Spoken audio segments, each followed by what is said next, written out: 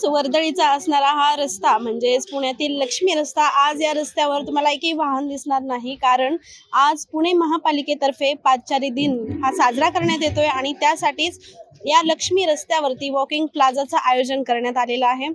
पुणेकरांनी मनसोक्त असा आनंद लुटत या वॉकिंग प्लाझामध्ये आपला सहभाग नोंदवला आहे.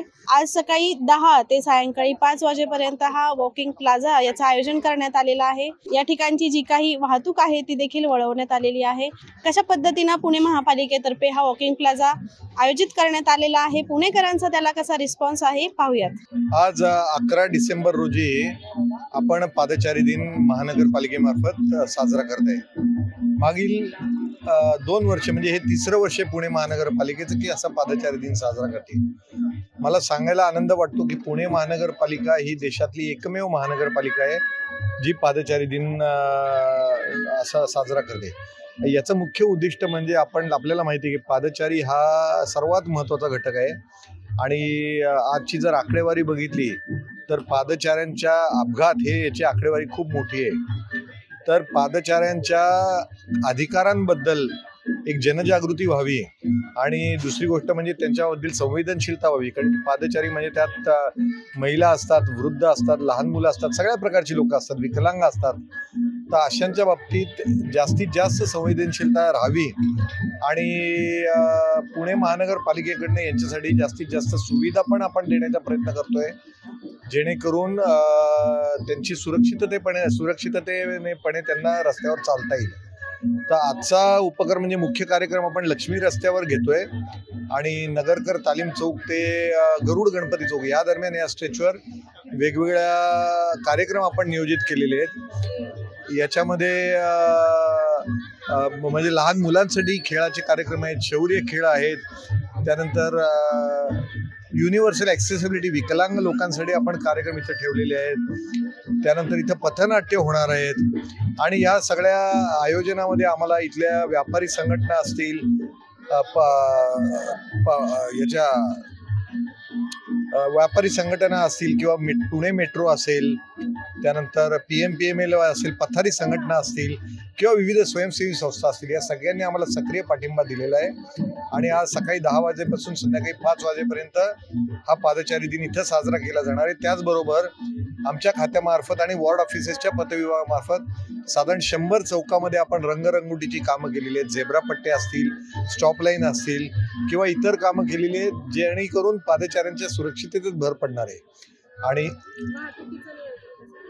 वाहतुकीचं नियोजन आजच्या पुरतं लक्ष्मी रोडवर आप- मी आत्ता जो स्ट्रेच सांगितलं त्या स्ट्रेचमध्ये सध्या वाहन आज पोलिसांनी आपल्याला तसं गॅझेट काढलेलं आहे की वाहतूक बंद राहील म्हणून. पर्यायी रस्त्यावरनं वाहतूक वळवण्यात आलेली आहे आणि आपला आजचा दिवसाचा कार्यक्रम संपल्यानंतर वाहतूक इथे पूर्वत होणार आहे. पुणे महानगरपालिका ही महाराष्ट्रातली सर्वात महानगरपालिका क्षेत्रफळाच्या बाबतीत मुंबईपेक्षा आपलं क्षेत्रफळ जास्ती आहे.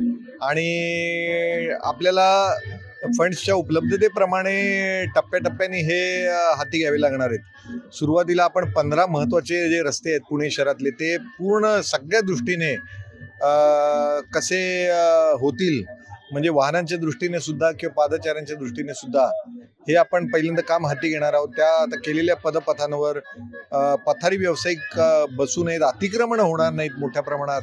खोदाई होणार नाही ह्या पद्धतीने आपण हे करतोय. आणि एकदम आपण पेडेस्ट्रियन फ्रेंडली पदपथ करतोय आपण. त्याच्यामध्ये अंधांना सुद्धा चालण्याकरता आपण टॅक्टाईल टाईल्स लावतो जेणेकरून अंधांना सुद्धा पदपथावर चालणं चांगलं होईल या बाबतीत.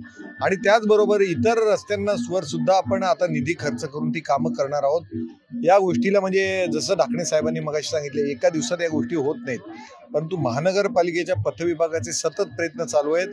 आणि पुणे शहर हे पादचाऱ्यांसाठी आणि इवन वाहतुकीसाठी सुद्धा कसं जास्तीत जास्त आपल्याला सेफ करता येईल यासाठी आमचे प्रयत्न सतत चालू आहेत. वाहतूक कोंडी जास्तीत जास्त दूर कशी कमी कशी करता येईल यासाठी आपण विकास आराखड्यामध्ये जे रस्ते असतात त्या रस्त्यांचे विकसन आपण प्राधान्याने हाती घेतोय. त्याचबरोबर काही ठिकाणी असं झालेलं आहे की रस्त्यांची कामं पूर्ण झाली मध्ये एखादा छोटासा पीस कुठल्या तरी लँड ओनरने अडवलेला आहे कॉम्पन्सेशनसाठी तर त्याच्याशी पण आमच्या विविध यांनी चर्चा चालू आहेत ह्या या मिसिंग लिंक सुद्धा एस्टॅब्लिश झाल्या. तर वाहतुकीला मोठ्या प्रमाणात स- स- म्हणजे से वाहतूक मोठ्या प्रमाणात मोकळी होणार आहे. आणि पथविभागाला आणि रस्ते करण्याला आणि वाहतूक कोंडी सोडवल्यानं माननीय महापालिका आयुक्त यांनी सुद्धा सर्वोच्च प्राधान्य दिले त्यामुळे बजेटचे तसे कन्स्टेंट्स नसतात. फक्त आपल्याला एकाच वेळेस सगळे रस्ते घेता येत नाहीत. प्राधान्यानुसार टप्प्याटप्प्याने घ्यावे लागतात. त्याप्रमाणे ते घेणे. काम करताना मुख्य आव्हान म्हणजे कुठलाही रस्ता करायचा झाला तर त्याची जागा ताब्यात येणं महत्वाचं असतं.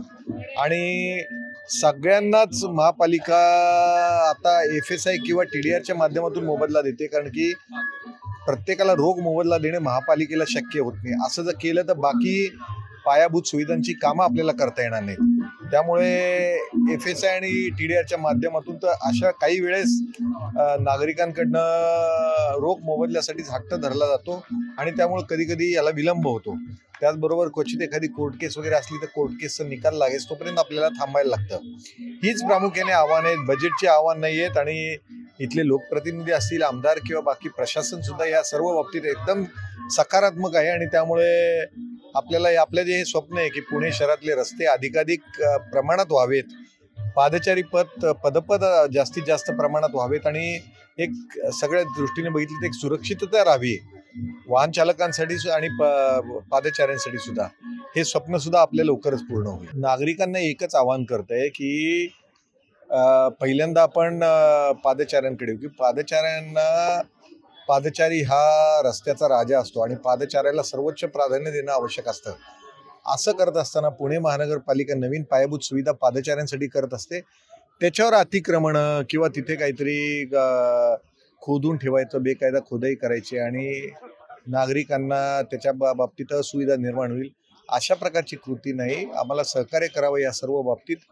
आणि रस्तेही अधिकाधिक विकसित व्हावेत यासाठी त्यांच्या जागा ज्या आहेत त्या F S I T D आरच्या मोबदल्यात जास्तीत जास्त द्यावात. F S I T D आरचे सुद्धा मोबदला अतिशय म्हणजे अट्रॅक्टिव्ह मोबदला असतो. तर त्या माध्यमातून आम्हाला द्यावं. पुणे महानगरपालिकेला सहकार्य करावं. होतच असतं सहकार्य पण या बाबतीत हे सहकार्य केलं तर अजून आपल्याला आपल्या शहर जास्तीत जास्त सेफ बनवता येईल.